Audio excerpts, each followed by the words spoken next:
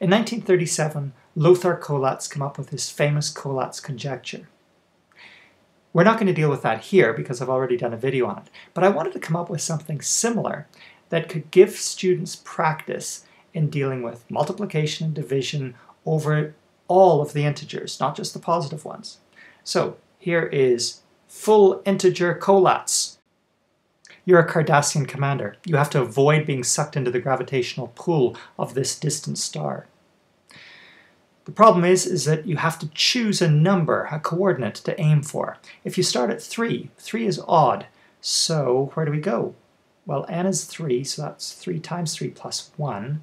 That means you're going to be uh, heading for 10, and then 10 is even, so we're going to be now heading for minus 10 divided by 2, that's minus 5. And we keep on going, and look at this, it looks pretty good. We're up to 22, minus 11.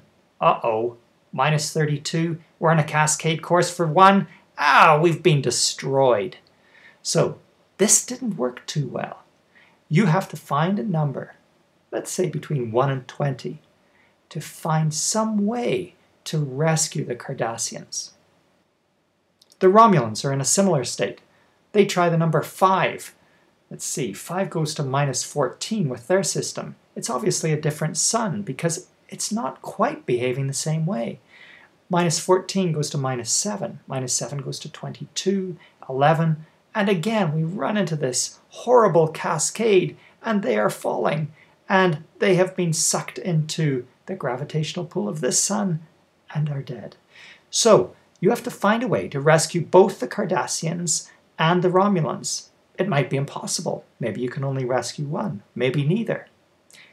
Start with numbers between 1 and 20. A special thank you to Bernd Schneider and his website, whose images he provides for free for nonprofit organizations like MathPickle. Thank you, Bernd.